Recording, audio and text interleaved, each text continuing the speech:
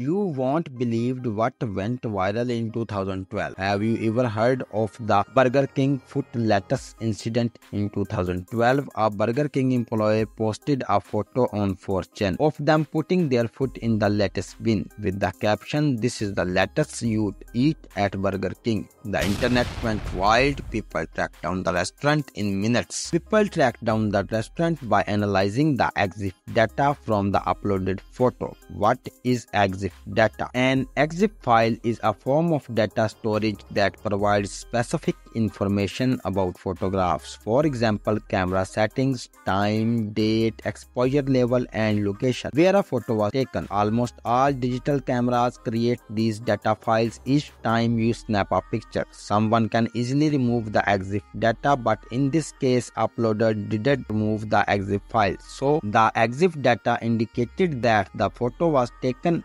Mayfield Heights, Ohio, leading users to identify the specific location of the Burger King branch where the incident occurred. Within 20 minutes of the initial post, the address of the branch was shared online. 4chan users also circulated it to the local news outlets in and around Mayfield Heights, Ohio. They also start putting this image on Burger King's Tell Us About Us form. As a result, the employee was fired immediately. Burger King's management responded to the incident by promptly firing three employees involved in the incident. The Burger King's employee's identity was never revealed and also the motive for posting the image.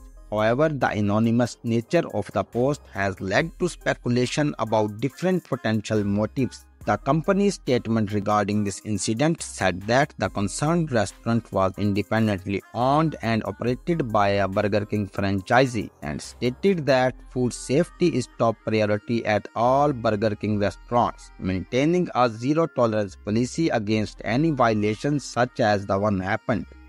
The incident sparked outrage among viewers, with some expressing the need for legal action beyond just termination of the employee.